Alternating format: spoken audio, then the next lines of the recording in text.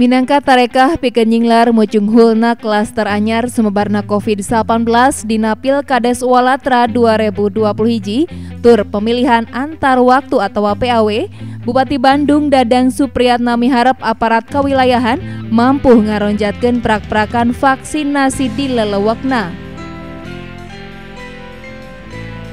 Eta pesta demokrasi anu bakal dipaju dina tanggal 20 Oktober 2020 hiji teh disorang di 48 desa di 24 kecamatan. Bupati boga target cangkingan vaksin genep puluh persen di 24 kecamatan.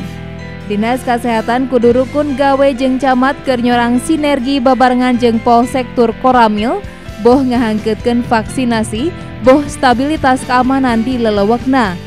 Tukituna prak-prakan pilkades di Kabupaten Bandung bisa dipaju kalawan sukses tan ekses.